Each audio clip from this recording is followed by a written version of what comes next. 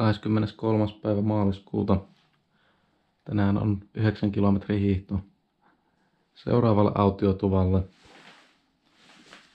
Pitäisi olla kohtuu helppo. Lämpötila on plussan puolella. Tässä selkeästi alkaa tulemaan kevät, niin siirryn tuota kevyempään vaatetukseen. Tämmönen huomattavasti viileämpi ohuempi Coretex-takki on ollut mukana tuossa. Tämmönen ei paljon tilaa vie. Tota, saa nähdä, saada laittaa tuon toisen takin postissa pois, jos tota, tää toimii hyvin nyt tänään. Minkälaisia uutisia en ole saanut tota, koronaviruksesta tota, yli viikkoon. Jotain tekstiviestejä on saanut, että kotimaan matkailua ei suositella tai tämmöistä. Mutta eri, eri asia se on kyllä olla yksin täällä metsässä kuin jossain hiihtokeskuksessa. Että ne suositukset on aina suosituksia.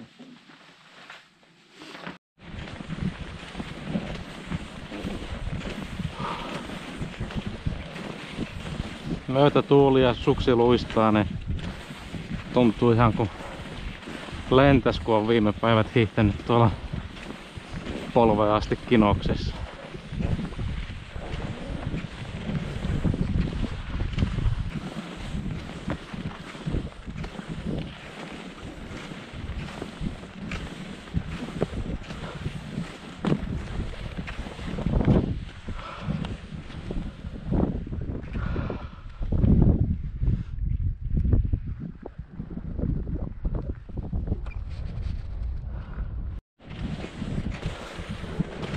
Eka tunti oli aika lailla ylämäkeä nyt. Tulee vähän alamäkeä ja tasasta. Tätä vauhtia on kyllä kahden tunnin sisällä perille.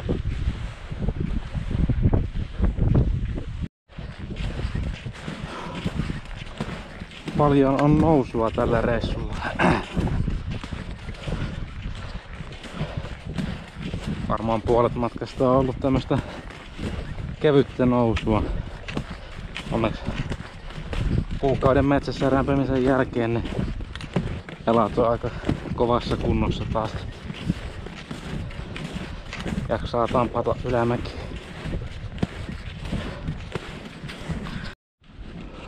Tunti 45 minuuttia hiihtänyt ja tuolla näkyy autiotupa ja Tietäisin, että seuraava väli on samanlainen, niin hiihtäisin varmaan jo tota, seuraavalle autiotuvalla. Mutta nyt kun on ollut 10 päivää tuolla metsässä, niin otetaan nyt alkuun rauhassa. Tuolla tulee sitten aika pitkiäkin välimatkoja tuolla, kun mennään eteenpäin. Mutta aika hyvää vauhtia päässyt nyt eteenpäin. 9 kilometriä matkaa ja tunti 45, niin sehän on jo yli 5 kilometriä tunnissa, vaikka meni ylämäkeen melkein koko matka.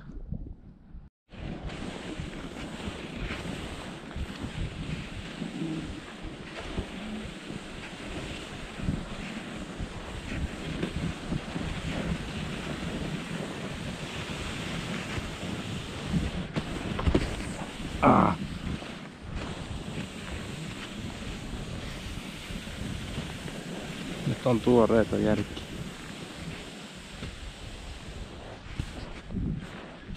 Sen verran aikaisin pääsin nyt perille, että tässä kerkee käymään pilkille vielä iltapäivällä. Kello on vielä kolme. Tuossa on tuo Roussajärvi, niin ajattelin siihen hiihtää. Tuo on vähän huonona tuo kaira, mutta kyllä sillä nyt pari reikää saa tehtyä. Ei tässä nyt jaksa lähteä kuitenkaan hirveän montaa reikää kairailemaan, vaikka se hyvä olisikin.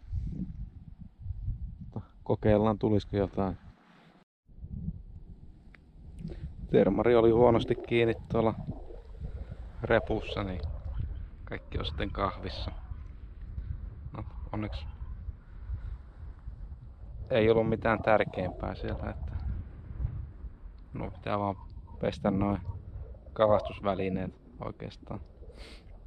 Pitää varmaan toi reppu kanssa käyttää vedessä jossain vaiheessa. Kyllä tuolla vielä reijän sai tehtyä, mutta kyllä mä hommaan uudet terät siihen nurkamista.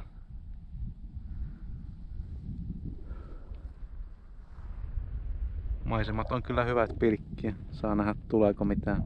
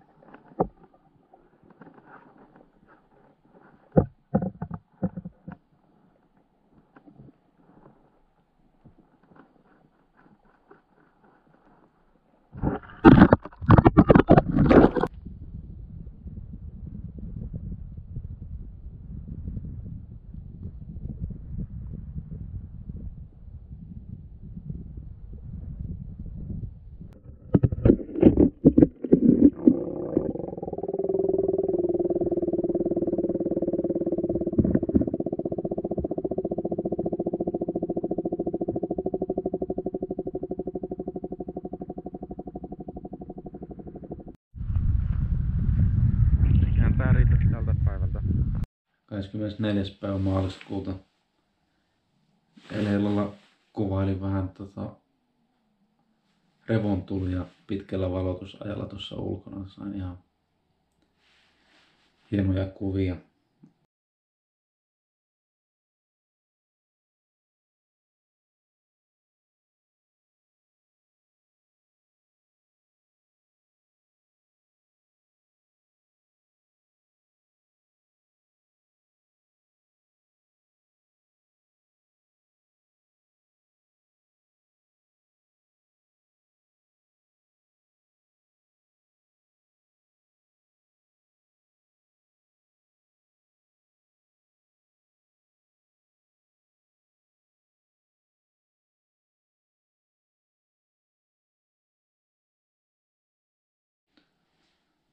Nyt ollaan siis Roussajärven autiotuvalla ja hiihtelen tonne Huikkimajoen autiotuvalle sitten seuraavaksi.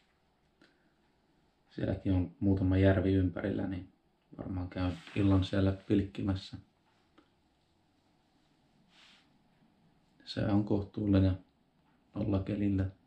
Taitaa olla. Tuulee vähän turhan paljon, mutta niistä taitaa täällä päin hyvin herkästi tulla niin avointa maastoa.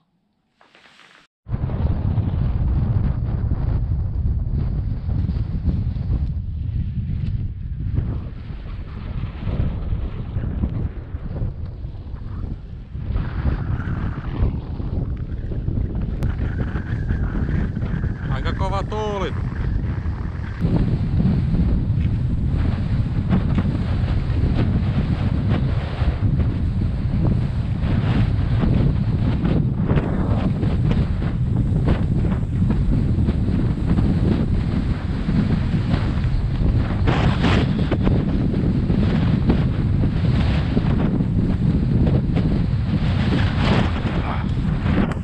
Huhhuh. Tuuli työntää yhteen suuntaan, mäki yhteen suuntaan. Ja välillä on semmosia paikkoja, missä pitää sukset liian hyvin. Joka suuntaan myki.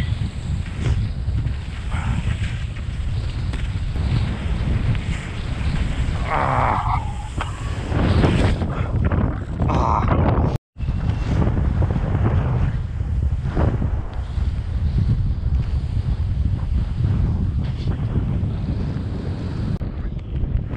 on sitten tullut aikoinaan trampoliinilla hypittyä ja harrastettua judoa, niin osaa kaatua aika turvallisesti. Vähän joka suuntaan nykin noin sukset tossa ja sitten tuli semmonen joku leikannut suksilla tai moottorikelkalla rinteen poikki, niin toinen suksi lähti toiseen suuntaan kuin toinen. Eipä siinä mitään, jatketaan vaan matkaa. nyt kun on vähän tasaisemmalla, niin voitelen sukset.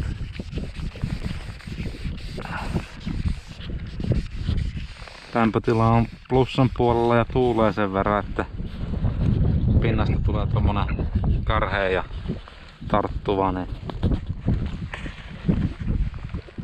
Vedän tämmöstä ihan joka kelin luistovoidetta tänne pohjaan.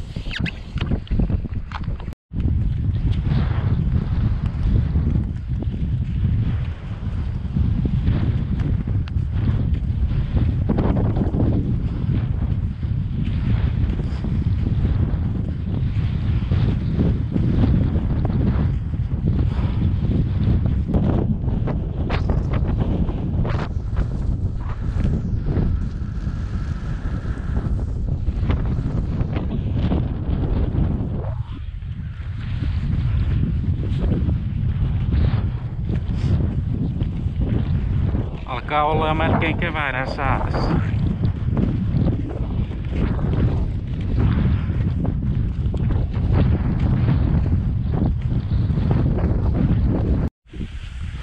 Aurinko sulatti sen tarttuva osan tosta lumen pinnasta, niin nyt on hyvä luista.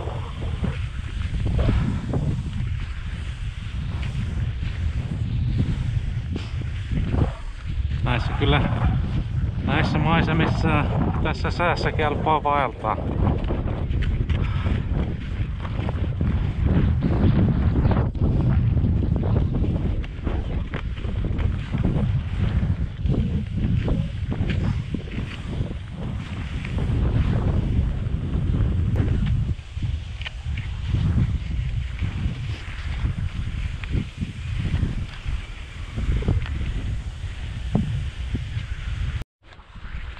Taidan olla seuraavalla autiotuvalla.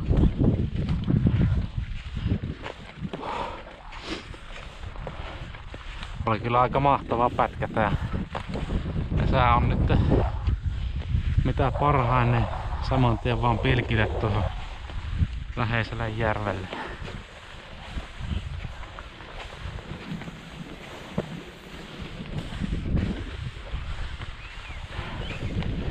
Viime aikoina tullut mitään, mutta ainut tapa korjata se on vaan yrittää koveilla.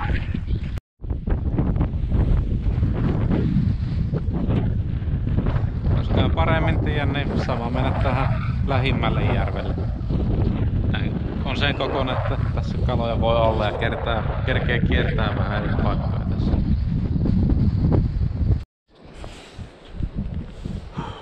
Menikin sitten pilveen ja alkoi sataa räntää. Tässä nyt kiertänyt suunnilleen tän järven.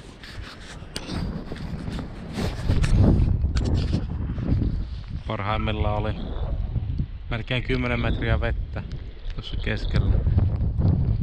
Tääkin ihan lupaava järvi, mutta uuden kärhään juomavesisankko. Mutta ainakin varmasti puhdas kävivät tänään tota,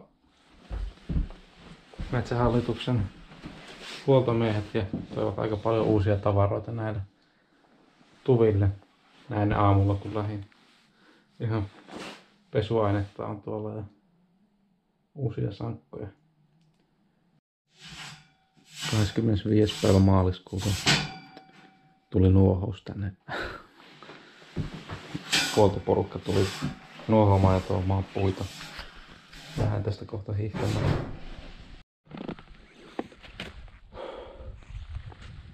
Nyt on alkanut tulla tämmöisiä paikkoja, missä ei upota ollenkaan sukset. Mutta joutuu kuitenkin vielä suurimman osan matkasta menee tätä moottorikelkkouraa, että saa paremman luiston.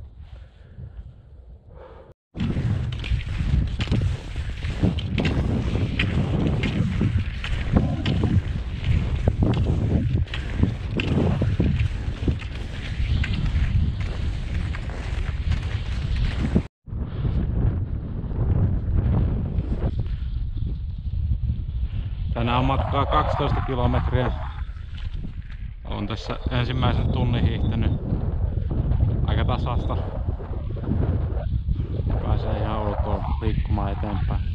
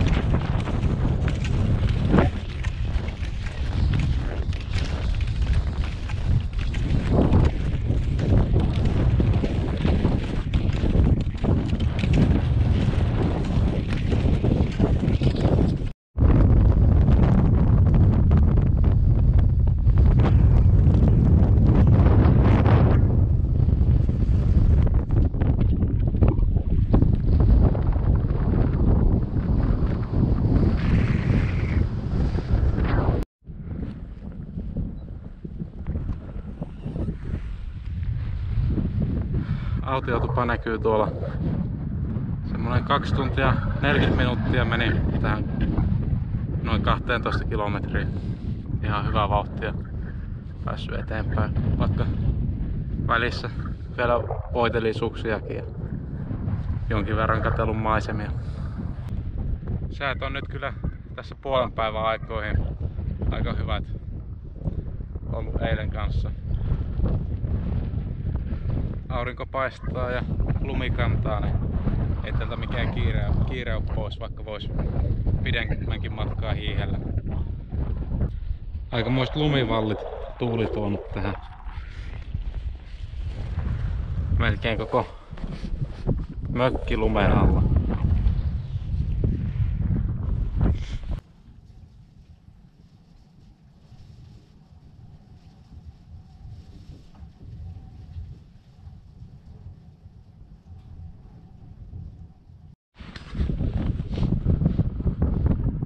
26. päivä maaliskuuta. Lähden täältä Saarajärveltä kohti Suomessa järveä. Tuo näyttää 11 kilometriä tuo viitta. Sää on ihan kohtuullinen. Pikkasen pakkasta. Vähän turhan kova tuuli, mutta tässä on aamusta aika paljon hiljentynyt. Koitin aamulla käydä tuolla huussissa. Päätin, että en rupea lapioimaan varsinkaan, jos siinä on hätä päästä. Kävin sitten tuolla erämaan puolella. Siinä on jollekin lapiohommia, jos haluaa huussissa käydä. En rupea kahta metriä lunta siirtämään tässä kuitenkaan. Matalalla lentää. Laskeutuuko se tuohon jäälle?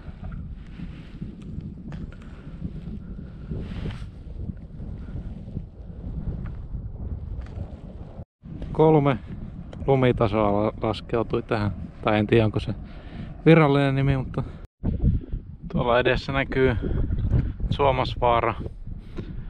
Sen edessä tuota, Suomasjärven rannalla pitäisi olla se seuraava autiotupa. Mutta on tonne vielä 5-6 kilometriä matkaa.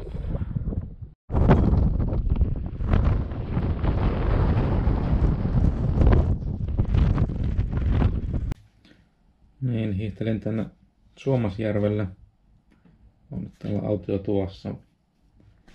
Vähän aikaa ei pitäisi autiotuvia tupia olla. Tässä on nyt varmaan melkein 30 kilometriä vielä Nuorgamiin. Ihan sen tätä moottorikelkkareittiä. Tässä on vielä reilu 10 kilometriä tätä hiihtoreittiäkin jäljellä. Varmaan tänne jonnekin Nurgami eteläpuolelle laitan leirin pariksi yöksi ja välissä käyn ilman tavaroita kaupassa. Koska tässä aika jyrkkä mäki tuonne Tenojoen rantaan, niin en halua kaikkia kamoja raata ylös sitten sitä mäkeä. Täällä on esimerkiksi tää laavu. Niin voin vaikka sinne mennä.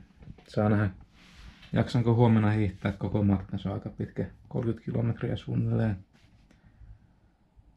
Vai onko yön välissä tossa jossain varmaan näillä alueilla. Sain tuossa mobiilidatayhteyden ensimmäistä kertaa varmaan yli viikkoon. Viimeksi oli siellä Taimenjärvillä, kun lähdin näätämöstä, niin viimeksi oli siellä minkäänlaisia yhteyksiä ja siellä tota, luin, että Suomi pistää rajat kiinni ja hirmuinen koronahysteria on käynnissä. Ja en sitten tiennyt, että kuinka vakava juttu se on tuossa hiihdellessä viikon ajan. Nyt näköjään Uusimaa on tota, suljetaan. Ja en tiedä, en hirveän hyvää kuvaa siitä hommasta saanut, mutta tiedän, että Norjan raja on kiinni, että sille puolelle ei voi hiidellä. Tai voi hiidellä, mutta ei saa hiidellä. Ja tota, luulen, että täällä vaeltaessa kuitenkin olen sen verran paremmin turvassa kuin missään muualla, että ei tarvitse mun reagoida siihen millään muulla tavalla kuin, että pitää vähän katsoa, kun käy tuolla kaupassa, että ei ihan nuolla mitään lattioita. 27. päivä maaliskuuta on täällä Suomasjärven autiotuvalla ja vähän kohta hiihtää kohti Nuorgamia. Matkaa on vajaa 30 kilometriä. En tiedä kuinka pitkälle pääsen tänään, mutta hiihtelen niin pitkään kunnes alkaa tulla pimeitä ja löydän hyvän leiripaikan. Tämä autiotupa on aika mielenkiintoisesti tehty. Tässä itse tuvan ulkopuolella on halkovarasto suoraan ja tuossa on huussi. Ei tarvii lähteä tuonne ulos hankeen niitä hakemaan. Aika hyvin suunniteltu tai helppokäyttöisesti suunniteltu, mikä ei aina ehkä ole se tarkoituskaan autiotuvalla, että puut on li- liian lähellä tulipaikkaa, niin sitten ne palaa nopeammin pois. Mutta ilmeisesti täällä se ei ole ongelma. Mutta kaikki palvelut samassa mökissä täällä. Ei tarvi etsiä niitä tuolta kaukaisuudesta hangesta. Lähdin autiotuvalta hiihtämään.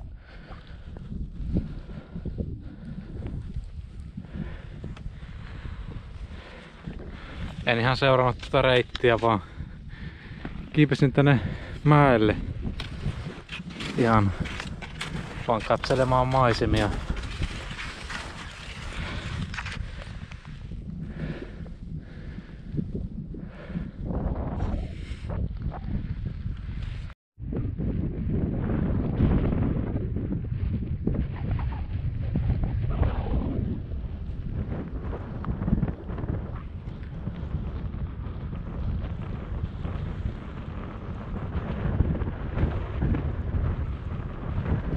Seuraavalla Lapin reissulle kyllä pitää hommata se järjestelmäkamera. GoPro ei ehkä riitä ihan näiden maisemia ikuistamiseen.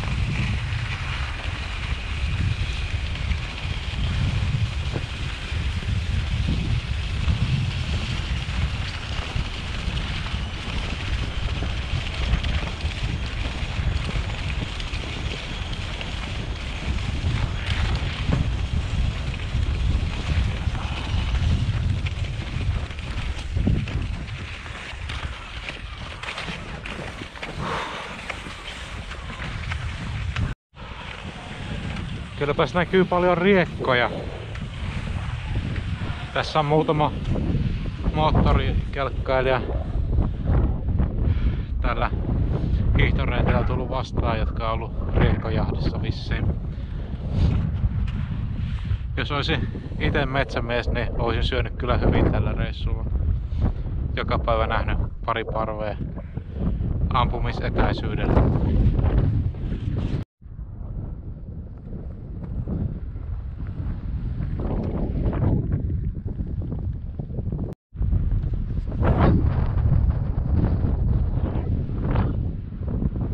Jokaisen mäen päältä aukeaa vaan hienommat näkyvät. Norgamiin 21 tätä moottorikelkkareittiä. Hiihtoreitti menisi tonne toiseen suuntaan, mutta se loppuu tuossa kahden kilometrin päästä. Seuraan tätä moottorikelkkareittiä. Siinä saattaa joku huonompi tai jyrkempi ylämäki tulla. Mutta nyt on kyllä sen verran hyvä sää ja tota, olosuhteet, että luulen, että pääsen aika jyrkänkin ylämään suksilla mentyä.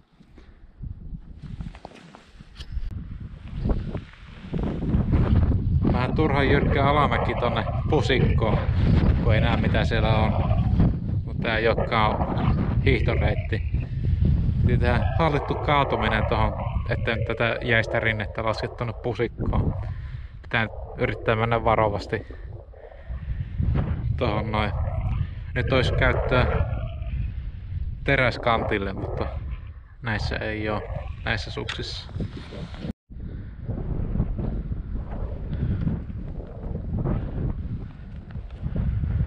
Pulmankin järvi on tossa. Sitä pitkin menee moottorikelkkareitti. Siinä olisi tarkoitus mennä. Se on vaan aika pitkä alamäki ja kohtuullisen jyrkkä. Ja ympärillä vielä puita ja lumi ihan jäässä. Saa nähdä miten tästä pääsee alas. Tuo kun lähtee liikkeelle tuo pulkka tässä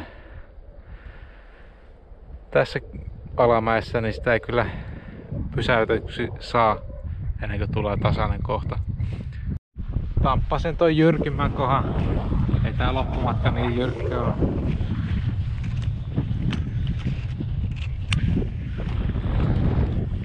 No, katsotaan mitä käy.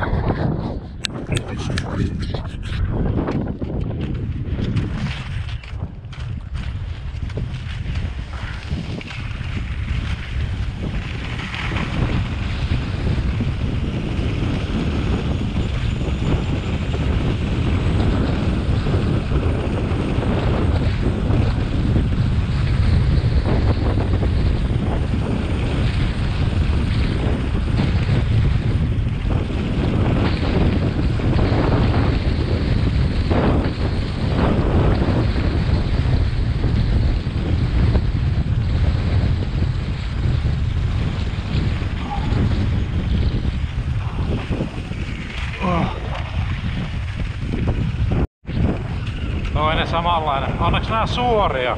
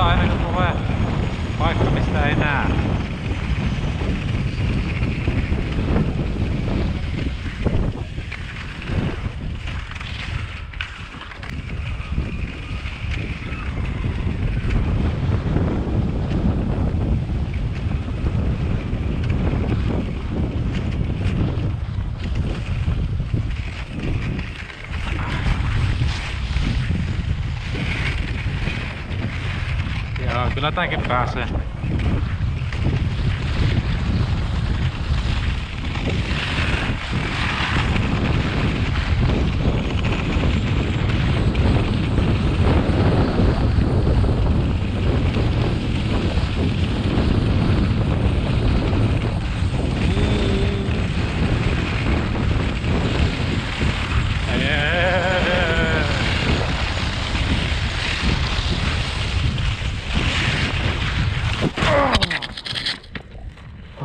Pakko kaatua, kun ei näe mitään edessä.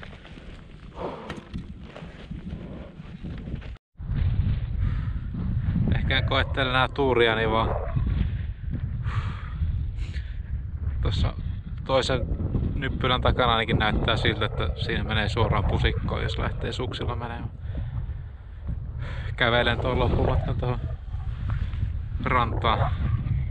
Onhan noin ihan mukavia nuo alamäet, mutta sitten kun vauhtia on 50 ja armeijasiteillä olevat metsäsukset jalassa ja maa ihan jäässä, niin siinä ollaan jo vähän turvallisen rajoilla.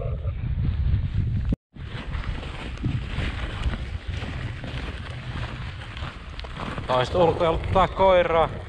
Me ulkoilutaan ahkiota alamies.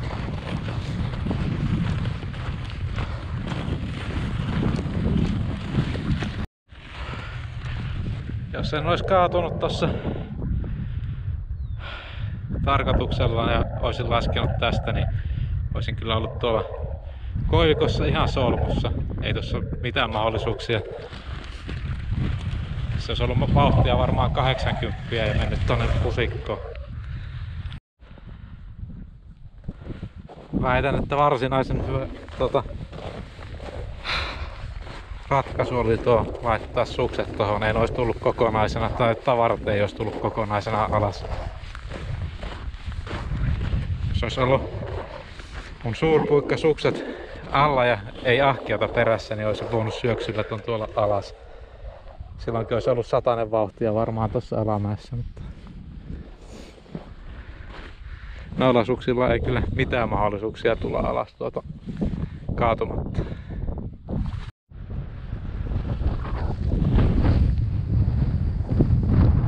Tuon kulmakiervi ylitetty. Tuolla edessä toi valkoinen viiva, niin siinä on Suomen ja Norjan raja.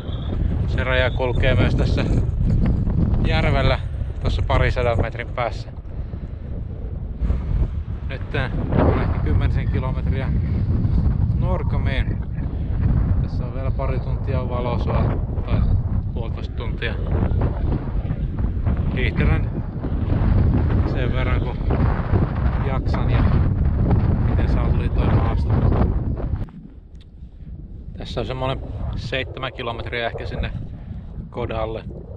Koitan hiihtää kuitenkin sinne. Ei näytä niin vaikealta toi reitti. Jos alkaa tuntua siltä, että ei jaksa, niin sitten vaan jää telttaan. Tässä nyt juon kahvia ja lähden kohta hiihtää. Tunne ainakin näkee hyvin hiihtää ja on vielä auringonlaskun jälkeenkin ihan hyvin valoa kuitenkin. Näkee hiihtää, kunhan ei ole pahoja ylämäkiä tai alamäkiä, niin aika hämärässäkin näkee mennä kuitenkin. Kohta perillä. Tota on tuolla 700 metrin päässä koivikossa. Kerkeen just just silleen, että näkee vielä hiihtää. Tää on ollut tämmöstä loivaa ylämäkkää koko tää 6 tai 7 kilometriä. Onneksi join sen kahvin. Siinä oli varmaan kofeiinia kuuden tai seitsemän tavallisen kupin verran, niin aikamoista pervitiinihiihtoa oli. Ei hirveästi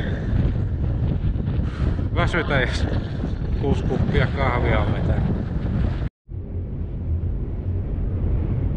28. päivä maaliskuuta on täällä Kodalla. Eilen tulin tänne aika pitkän matkaa. Nyt on, olisi tarkoitus mennä kauppaan, mutta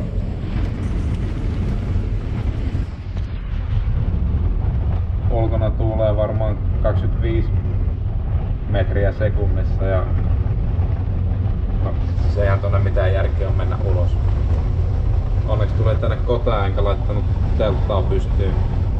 Tietenkin teltta olisin laittanut paljon suojaisempaan paikkaan, mutta ei tonne ulos voi lähteä ennen kuin toi hellittää. Kaupat on auki viiteen Pitää katsoa kerkienkö tänään käymään siellä. Huomenna sitten on paljon parempi sää. Mutta voi olla, että joudun olemaan tässä kolme yötä.